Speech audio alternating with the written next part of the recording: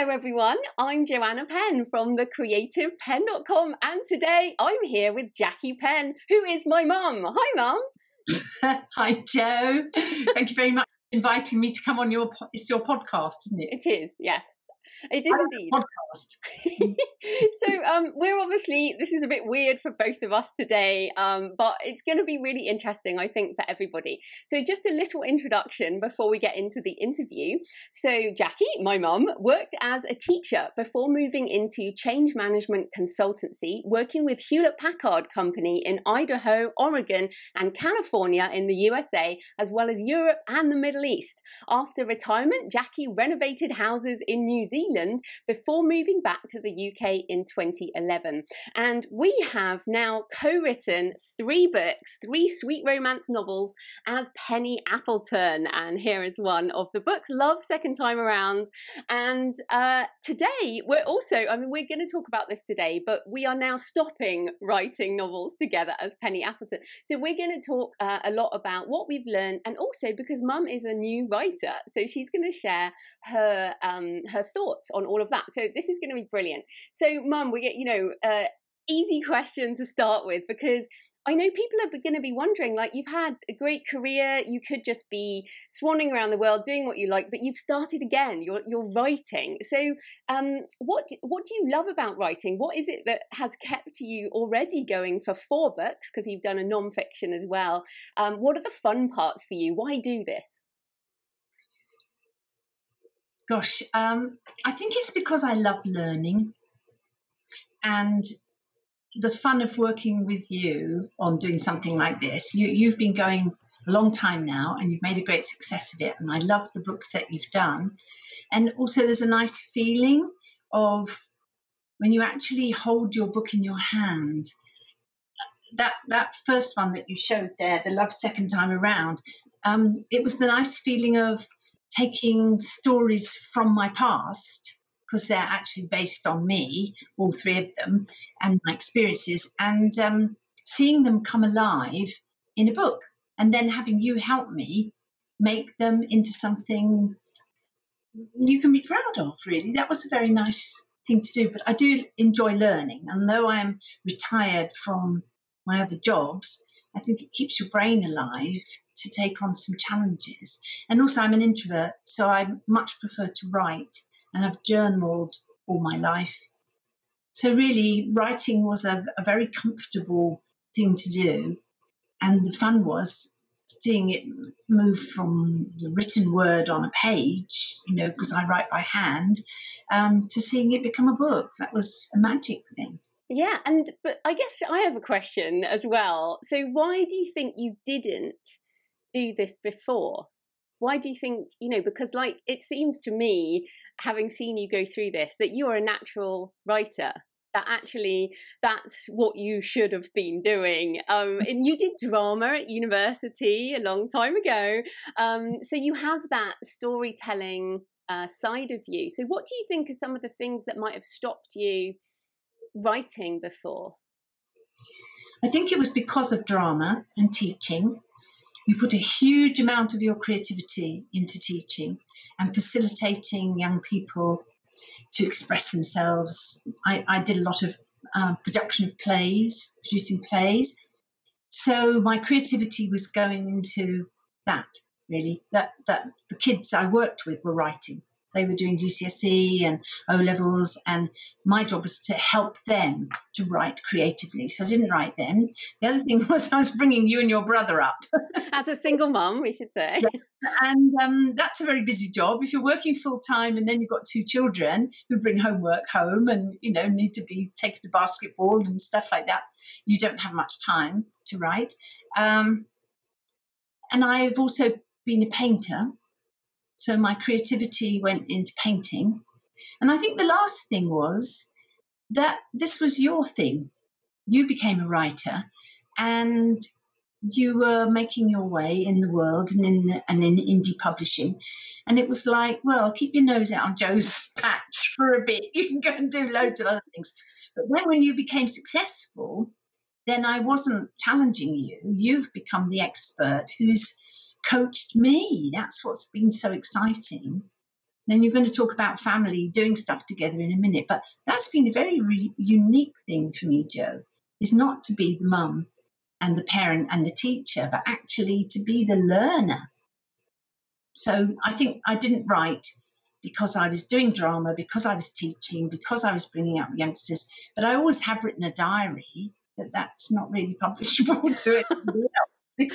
No, no, and it, but it's it's interesting. I think um, you know, you've always been a reader, so you've always read lots, and we've always had books in the house. So I was always brought up with books, and um, but what was funny, and I don't know if you remember this. I think, well, we've talked about it since. But when I wrote one of my first books, and you read it, and you said, um, "Why don't you write something nice like Hilary Mantel?" you remember that? I do. Yes, that's that's the sort of mother saying, "Why don't you get a proper job?" Bit, but it, but then what was so um, what was really great for me was when you actually said once you were writing, you were like, "Oh, this is hard." So you you had this kind of renewed respect for what it meant. So and that was surprising for you, I think, wasn't it? You were you were surprised by how hard it was it was because Rod, your brother, said, "Oh well, you've been an English teacher; it's going to be easy for you." And I said, "No, no, no, no. This is a whole different ball game. Um, it's it's partly if you look at traditional publishing." You actually start with a story, and then an editor takes it, and then if they like it, they tell you thousands of things you have to change, and then there's loads of people get input into it. But when you're doing indie publishing, like you are, there's a, a whole range of professionalisms you have to learn, don't you? So you see the whole process from the time you write the story through to analyzing who is your audience, how much is it going to cost to actually get it out there, who are you publishing it with, um, and then how do you market it? There's, it's a whole different world. So writing a story in your English class, your fiction class, is very different from actually publishing it and, and saying, and, and I think you made the distinction. You asked me, do you do you want to write this so you can see your name on a book, so that you can say, I wrote this book, you know? And I said, no, I don't actually want to see my name on it, and just in case it's rubbish. so the first one was written under J. Ryman, wasn't it? Because um, being Jacqui, I was often called J, the letter J. And then as I was walking past Ryman's, the stationers down in Bristol, I thought that's a nice name. So I wrote the funeral book, the first one, the non-fiction, under J. Ryman to close off a particular aspect of, of being a funeral um, celebrant. Yeah, that's right. And um, and then when we looked at Penny Appleton, we we looked at a whole different thing, didn't we? If it was going to be a sweet romance, what would the names be and things? So you you said, do I want just to have this book as for pleasure? Or do I want to try and make a commercial success of it? And I said, Well, I've really loved doing the painting. I don't know if you remember this, but nobody ever bought them. or a few people did, but it wasn't exactly a, you know, no, it cost you money. It was a hobby you look at the cost of paint and canvases, I got great pleasure out of it, but actually it's very expensive, you know. And then when I retired, I thought, I can't afford to do this much anymore. So with the books, I thought, we'd love to write, but wouldn't it be fabulous if they were good enough for somebody else to buy as well? So that's that's what it was. that was what it was about, really. Um, and no, I didn't want to see my name on the book. And you're still not going to use your name. I, I, guess we'll come we'll come to that in a minute. But I do want to just circle back on the English teaching because I actually think I think that English literature, studying English literature, can actually hold back the storytelling. Do you do you do you think that? I do. Yes. If you look at one of my favourite books and particularly movies, is Pride and Prejudice. But actually, you read Jane Austen's style, and it's completely stultifying for the 21st century. Much easier to see it in, in film than it is now to study Jane Austen or Dickens. I mean, look at Dickens's stories are fabulous, but you wouldn't look at his language and his writing now because it's not relevant mm. to your. With writing today, you're looking at well, people reading today are very different they want it faster. They want it in little chunks. You you can't have great big long paragraphs of description because it's got to be much more vis- vis- you know visual. So I actually think yes, the study of some English literature is I think you can. I used to teach um, story writing and use bits of classical writers, and and also Tolkien and people like that. But yeah, I think it can be if it's taught in a way that says you've got to write like this. Um, it doesn't help. Mm. And I guess what what are any of the other things that you that surprised you about writing the novels particularly? Because I think the nonfiction, you know, you were you were a consultant, you know how to write a document, and nonfiction, you wrote a document, we edited it, it, it came out, um, and for everyone listening, that is How to Plan a Funeral by Jay Ryman, and it's an excellent book if you uh, if you need to plan a funeral. Everyone needs this at some. Oh, there it is. How to plan a funeral and it is super useful book but th- there's a big difference between here's everything i know about how to plan a funeral which you wrote obviously we had a death in the family and um, you you studied that but a novel is completely different. So what what else surprised you about about the novel? I think if we looked at all three what surprised me was you want it to be handleable so you're not just looking at at the novel itself, but focusing on the reader rather than the author. So, if you remember rightly, my first version of Love Second Time Around was 90,000 words. And you said, Not bad, Mum, there's some gem among, gems amongst the rubbish. Um, I don't think I ever said rubbish. You, you said, There's some gems amongst the crap, Mother. I think you actually put it in writing. Um, but it's it's 90,000 words, you've got to cut 40,000 words out. And I kind of went, oh, my baby. I just sweated over writing that. And she wants me to cut it in half.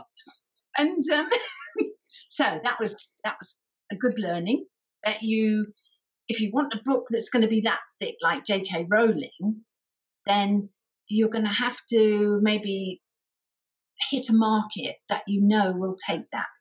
But for our, our, my kind of books, the kind of novel, the sweet novel, romance, someone wants to, to get into bed and read a chapter and then be hooked into saying, you know, let's read another chapter before I go to sleep. Oh, oh well, you know, I would like to read another chapter, and and they eat it like a bag of chips or you know a bar of chocolate, and at the end they put it down and they go, that was great. I really enjoyed that. So there's a whole different way of writing the novel than, as you say, the non-fiction. Really. Mm. And then you genre. So what was fun about working with you again was you used to send me loads of books, kind of like how to write a romance or how to structure your novel. Or I had one here that you. Oh, this one helped a lot. Oh, you have to hold it up, up, up a bit. Sorry. Oh, look, the successful author mindset by your daughter, dedicated yeah. to my mum. really struggling, and um, you sent this and it was lovely. Uh, I, and I've written in the front, uh, um, I've written this, this, I love this book, not just because Joe dedicated to me, which is nice, but what she said, it really, really helps. So you can see lots of my corners are turned over oh, where dark. And then I go, well, Jo's been there. She's 10, 11 years now ahead of me on the journey. Um, I'll go and see what she said about this. Oh, oh, that's nice. So instead of phoning you, panic stricken and miserable, like I used, to, and you say, just stop, mum. Go and go and have a break. You know, go for a walk. Don't hit yourself anymore. I would go to that, and then um, you sent me two two more. This is character arcs. Oh, creating character arcs by K.M. Weiland, isn't it? Yep, and that helped me a lot with my characters. I didn't never understood what what you meant. I used to say, look at the arc of the character. I think, what is she talking about? And then this was really helpful. And then this is um, this is stunning, but probably still a bit too advanced for me. This is the the story grid by Shawn Coyne. So for those of you on the audio, Mum is holding up the books that are good for her. And yeah, the story grid um, by the lovely Shawn Coyne um, is about. It's really pretty hardcore, isn't it? But I think every time you read it, you can get something else from it. I think this is for life, really. This is an encyclopedic knowledge of everything you need to know as a good editor and as you start to write, if you think, well, I'm also editing my own work, and frankly, more effort and pain goes into the editing, or it did for me anyway. Does that happen with you? Well, I think you. I think over time it changes, um, and you. Your. I mean, what we found, that, and I, I want to just circle back on the cutting down that first novel. Part, ah, yes part of part, I should just explain to people like part of the reason we did Penny Appleton is you said, "Oh, I I, I don't uh, remember how it started," but you wrote a book, and I had not even considered publishing with you. But then I read the book and I realised that there was a sweet romance in there but it did need to be excavated a little. Um, but when I read it, I was like, I could see this going out there, and the reviews have been amazing on Love Second Time Around. You know, it really is a mature romance, sweet romance, because you're my mum. There's just a kiss. That's it. You know, just so everybody knows, you just don't talk about other things with your mum. well, um, what was what was good was with sweet romance was I said to you well, I'm, I'm 70 now, so I can't remember what sex was all about, and I can't write as Fifty Shades of Grey. And you said, well, I wouldn't want to read it anyway, you know. And so I said, well, what else could you write? And you said, well, Sweet Romance stops at the bedroom door. It's about relationships. Um, it's got some, it's got a lot of, fe- of affection and feelings in it, but it doesn't go into the graphic detail, you know. So there's a lot of readers who like that.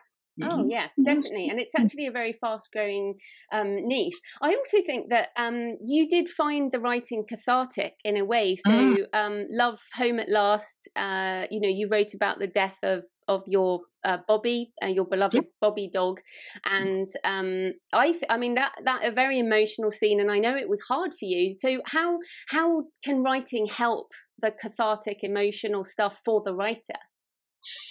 Very much, Jo, actually, because I did write about. I had a German Shepherd dog who I had for 12 years, and he had to be put down at the end. So he was all right, but his back legs collapsed.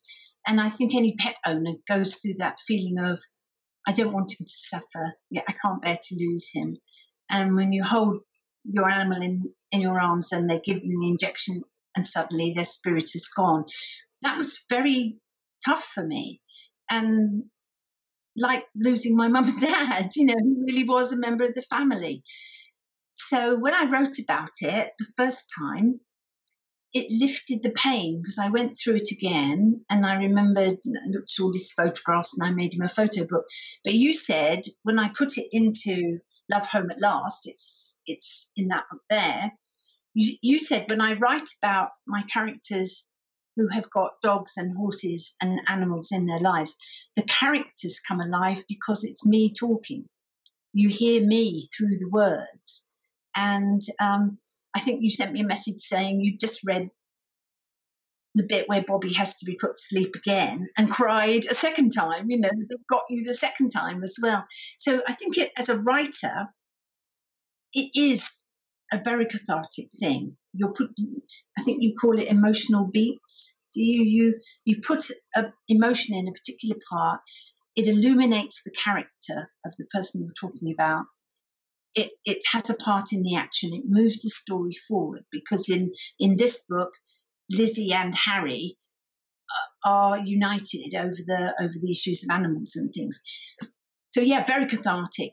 Um, yeah, Go on. Yeah, I think, and that's what I've really enjoyed seeing. And I think one of, you know, let's talk now about the challenges of of working together. So we're very good friends um, as mother and daughter, um, and in many ways we're similar. Like a lot of people would say, oh, our characters are quite similar.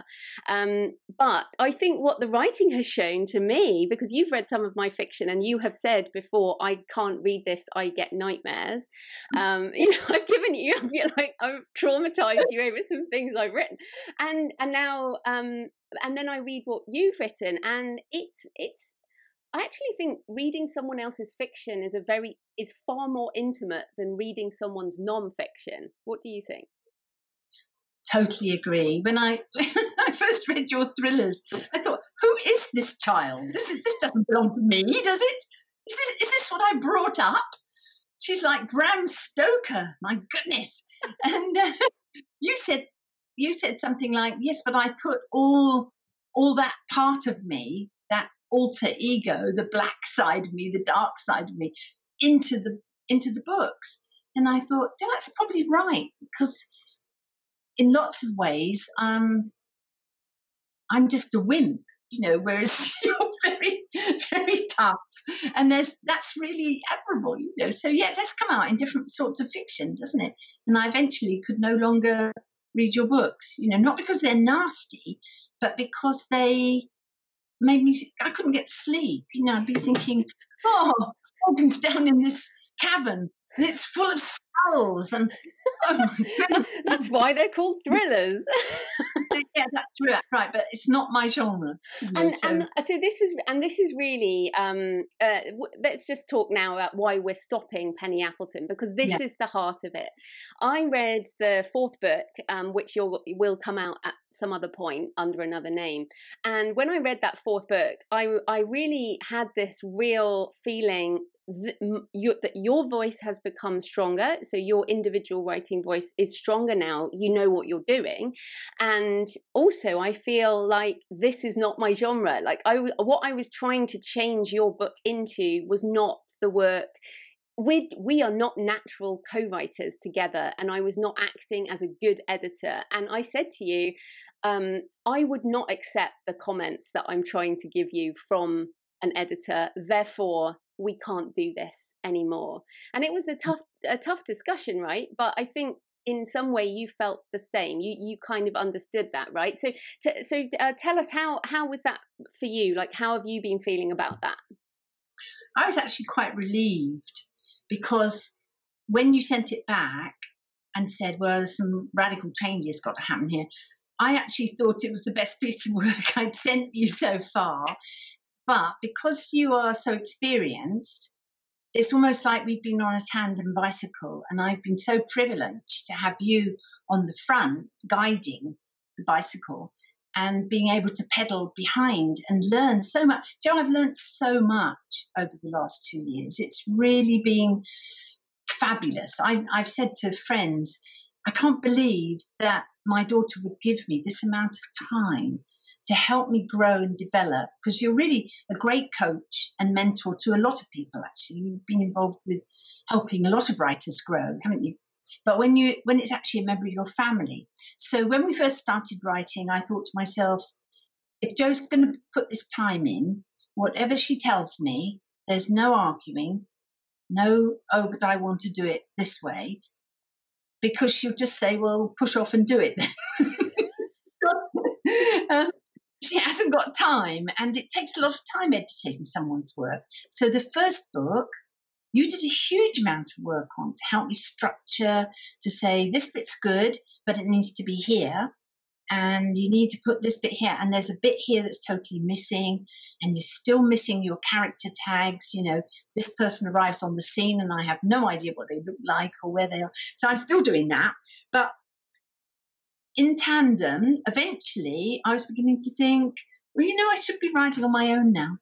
And I'm ready mm. to ride on my own. They've actually, I know as much as I, I've, you've given me confidence to ride my own bicycle. And we ride two very different bicycles. So we've kind of been going along. And now you said to me, I might as well just rewrite this whole book if I'm going to do this. So it's, it's time to stop mm. how much time you've taken out of your own writing to give me the confidence to say, I love doing this, I'm going to go on doing it, whether you're with me or not. I don't know what will happen with it, but um, I definitely think it's time to part ways now. Mm. And it's been like I've learned a lot too. I think from when, like I, as you say, I've been writing now. I started writing twelve 12 years ago and uh, you know I've written a lot of books and it becomes difficult to almost see see what you know. And what i learned from and we we are officially co-writing because i did we did co-write those three books. I wasn't just editing we were really co-writing. Um, and i learned a lot about almost what I know um, by doing that. And I actually ended up doing a course on how to write a novel, really based on what what we were going through. Because what I realised, and I know, like, for example, I sent you that story grid book quite early on, and that was that it was too early to send you the story grid. I mean, like you did a very good job of reading through it and then kind of going okay i'll just take a step back and look at some other things and then return to it. But that um i think i you know i've learned a lot from that but also i'm i'm just thrilled because uh you know you used to write poetry right? A long time ago maybe you still do um, but you but i remember reading some of your poetry when i was maybe 15 14 15 something like that. Where did you find that? Where did you probably in a drawer? yes. but but I remember thinking, you know, my mum my mum's a writer, you know, and I think that must have had some impact, you know, as in I I had in my mind that writers were a long way away, but you were an English teacher at the time, and so that and we did have books around, and that so that clearly made a big impact. But it's been so interesting to see, like for example, the point of view thing. I know people will find this interesting because I was like, you, you need to you need to do a third person point of view, and and it's almost like you couldn't understand that because it, it it was like a until you understand it, you don't understand it. It's just a thing, right? I, uh, you asked me once, you know, what books do I like most? And the the odd thing is, I seem to like young teens. Young adult, like, yeah, you like young adult work. Twilight, the Twilight series, and the Hunger Games, and they're written in third, first, first person point of view of the heroine. And I thought with my first book, it'd be nice, wouldn't it, to to write it from the point of view of an older hero, hero, heroine. Sorry, um, so it's actually written from from Maggie's point of view. And that's really my voice it started off with, and the stories that had happened with that older person. So we're writing from Maggie's point of view, and it's her view of Greg and her view of what happened. And then when you co- came in and co wrote, you added a whole different depth to her that wasn't me. And you said it's time to go past autobiographical stuff and make it more relevant to other older readers as well, which was great. Um, so the point, I thought, well, that's the point of view, isn't it? And you said, no, third person point of view written in the past makes it so much more flexible. And then in this fourth book, you said, I can't, I can't edit this because you've now written it from two points of view. The female point of view is chapter one, um, and the second chapter is the male point of view. And I thought, this is fascinating. I'm, I'm doing a great piece of innovation here.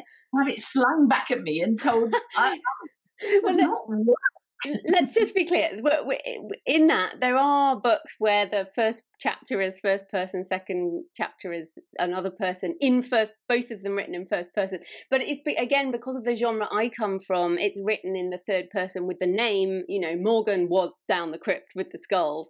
Uh, and you and you write with the i and i'm not i don't naturally write with the i voice it's just the first person voice. So again it's like a huge difference between us just in the way we naturally write.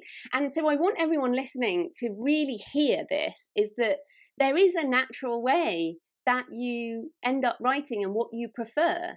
And I think you've you've felt you feel that voice much more now.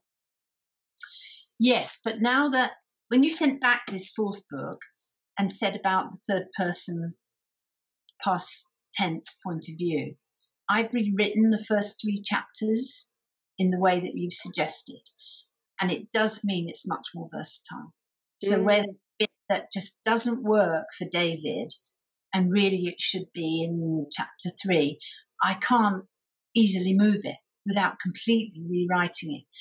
But at the time I was doing it, I thought I was being awfully sophisticated. Oh, this is such a cool, cool way to do it. You know, it's most unusual, and it is most unusual. But I think you have to be almost like, you know, the level of the English patient writing, really, you know, and a very, very experienced and sophisticated writer could could do this, but a newbie couldn't. so very good feedback. Yeah, well, yeah, really interesting. Okay, so let's um let's just move on to the family thing. So um obviously we love each other very much. We're friends, but we also drive each other quite crazy. sometimes because we are quite similar we're both strong women and uh you know and we we can both be very strong. Let's just leave it at that. Um, but what but what are some of the um, if people? But I know, and I obviously I work with Jonathan, my husband. I've helped dad, um, and you're obviously for everyone listening. My parents are divorced, but I helped my dad separately do a book, um, and you know I've I've helped my um, my niece in New Zealand do a book, and I've you know I I have tried to help family members because we do that because we love people, right?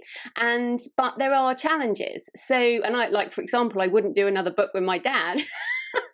for very different reasons than working with you. You've been a dream, really. But what what are some of the challenges or recommendations for people listening who want to help their mum or they want to help their dad or their brothers and sisters or their their love partners you know what, what are some of the ways you can balance love and also um, help helping in a really practical way i think it's not so much about love as about respect so I and, and also establishing who's in the lead. So one person, say you're going to help your daughter or you're going to help your mum, then you have to set the ground rules up. The ground rules for you and I were you were established as a writer and an indie publisher. I was a complete newbie and I listened to what you had to say and I had no experience in that field. So I just did everything that you said. And I didn't challenge you, didn't turn around and say, no, well, I don't want to do it like that. Because I we had that respect. I respect you very much for what you do. So I think that's important. Respect and setting some ground rules and maybe a time limit or, or some definition, some boundaries as to what you're going to do. Um, I think one of the reasons we have stopped now is also that I haven't been very well over the last six months or so. And being a professional writer, you work to deadlines, got to. Um, so I've been unhappy because I haven't been able to keep up with the de- deadline. And I felt, now I need to let that go with Joe because now I'm impacting on her, the way, her business, really. So there's love but there's also respect. And my respect for you said it's time to do my own thing in my own time while I get well again and to let Joe go now. And thank you very much indeed. So if you're working with a family member, I think it's respect, setting boundaries, and who is in the lead. Mm. And I do like the metaphor of the tandem bicycle and then heading off on your own bicycles because I think part of it is I do feel like you can go off on your own. Like I have you know i'm going to help you with some of the technical side around the publishing like i did with with the funeral book but it will be on your amazon account. It you know it will be your bank account. You will that will still be your your side of things um, with the new book. So i feel that respect too is that you know and you know i wouldn't have said I wouldn't have carried on or wouldn't have encouraged you so much if I didn't think you actually had something there. well, that was lovely too, really, was that I knew you wouldn't. If you said, well, that was good, mum, first book was good, but you know, you really haven't got the ability to tell a story. What you said was, you have, you could. Is this fun for you? Because there's also a lot of heartache and exhaustion and frustration. You know, I press the wrong key and the whole bloody computer goes down. no, no, get on the phone and say, I've lost, I've lost the whole novel. You know, and she said, no, don't panic, don't panic. There's Google in the corner. Um, so there've been a lot of downs as well as ups when you think, I can't do this, I can't do this, and I can't be bothered doing this. And then the next day, you wake up in the morning and it's like an addiction, it's nagging at you. So this fourth book that we've talked about, I've I've written and rewritten that three times now. And part of me's fed up with it. And the other part of me says, I've put too much work into this. And the two characters, Claire and David, I actually are actually real. I can't leave them there now. Mm. They they need to be finished. And I need to be able to say, like Maggie and Greg, their story has been told. Um, so that's I think it's the addiction that keeps you going, isn't it? yeah, so we we're almost out of time, but let let's just talk about your writing process now because I think one of your um, strong points is dialogue, and I wonder how much that is to do with your process. So explain your process. Okay. Um, I hear voices in my head. I hear my characters talking to each other. And I always take a spiral bound notebook with me everywhere in my bag and some nice pens. Um, I find some pens that I really like and put them in my bag. So I might be going along and I hear these voices in my head talking about a particular situation. So I write the dialogue, but then I'm not very fast on the computer. I prefer pen. So I have a, um, I've got it here to show you. I've got a dictaphone, a Sony top of the range dictaphone. There it is. Um, there, there are various prices, but this one is the most expensive if anyone is interested. And you plug it straight from the dictaphone into the computer, and it goes via the Dragon software, it goes voice to text. So I'll maybe come back with my spiral bound notebook with um, on here. So that's page 44 of what I was working on yesterday, you know. Mm-hmm. So there's a load of things that I'm writing. Then I'll come back and read it into the dictaphone, then immediately plug it into the computer, put it on Dragon, and it comes up on the screen. And then I'll disconnect and then I'll edit because often you've repeated something or so and I edit it straight away and then I move it from Dragon into the, the chapters of, of where it's going to go. So that's a very strong process for me because it means I don't have to spend hours typing. I think that I could be sitting here for four hours, but I'd get slower and worse as I went along. So I don't allow myself to stay more than an hour and a half sitting down. Um, we've got thrombosis in the family. My auntie had thrombosis. And so I have a kitchen timer and I put it on for 90 minutes. And then I, I have a, I have my machine that I stand on. It's called um, a. Oh, there we go. it's a circulation booster. It is. And what it does is it vibrates your legs you put your feet on it and it rocks them back and back and forward and it sends a lot of gyms are doing it now. They wire you up and an electric. Oh pulse. yeah, it's not quite the same as the gym vibration platform. I don't know. I think it's quite. It's. it's no, I, have been on one of those. You wouldn't be able to do anything. No, all right, it's not as strong as that. But you can. I have it at a low level nearly all the time when I'm sitting here, and I've got another one now, which is for my waistline. so I haven't tried that yet. I can say that I've worked on the Revitive um, probably for six months now, and the backs of my legs are not as fat as they were. I have fat calves, and I do think I'm, I'm not getting cramp in my legs. So it's important for me not to spend too long here. I have a standing up desk as well, um, but to be able to get my thoughts onto the computer as fast as possible, then edit and then spend my time when I'm here actually moving stuff about or editing as opposed to I don't type. Yeah, I think that's, and I think that's why your dialogue is so strong because you're speaking it so much. And I think it's great because that's how you've written all the three books and you're carrying on that way. And it's a great way to learn. Um, what I'd, uh, I'd also say, just for everyone, we've used Google Docs because mum did try Microsoft Word and we did have a few dilemmas with losing things. So in the end, I said, look, let's use Google Docs because uh, a second after you type into Google Docs, it's backed up in the cloud. So even though mum has felt sometimes she's lost it, I log on because we share all the documents and I can see that it's not lost. So even though you're writing on your own from now on, maybe we'll continue doing that. I think that'd be a good idea, actually. Just in case, because you know, every and I know I've had so many emails from people who've lost manuscripts. So having a process where it is backed up in in a way is is a really good idea. And the other thing with my written, handwritten stuff like that, until I've finished the book, I don't throw those notes away. I staple them together and I stick them in a black box in the other room. Plus, it's got loads of photographs. Sometimes I, part of the process is being able to see the faces of the people that you're writing about. And so I find pictures and stick them in here too. Um, and that helps my process. And that's so fun. That's really fun as well. Yeah, I love doing that.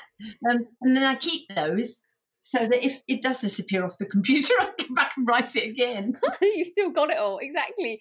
No, that's awesome. Okay, so then we have to ask, what is next? So, what do you? I mean, we are at the beginning of your next phase, so we're doing this discussion at the end of Penny Appleton. So, um, what? Do, and you, this might change, but tell us, what are you feeling like you're you're going to do next? Obviously, you've got the books going. Um, what are you feeling about the name? Uh, you know, tell us what's next.